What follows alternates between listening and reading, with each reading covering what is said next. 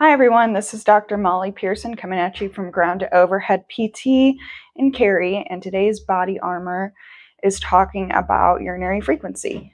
And so, the problem that we're running into is increased urinary frequency or increased um, need to use the restroom throughout the day, which results in, a, in interrupting meetings, interrupting our workouts, um, and just our daily routine or even our sleep in general. So, the solution I have for you is to look at foods and drinks that you're consuming. And there's quite a few things that can be bladder irritants.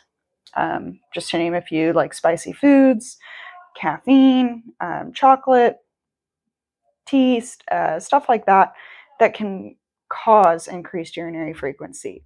So this results in by so by assessing like what we're eating, what we're drinking, and determining if it's a bladder irritant or not, and then reducing the consumption of those, or maybe working on the timing of the consumption of those, this can help reduce um, interruptions throughout our, our day and help us get back to having uh, more productivity at work and in the gym.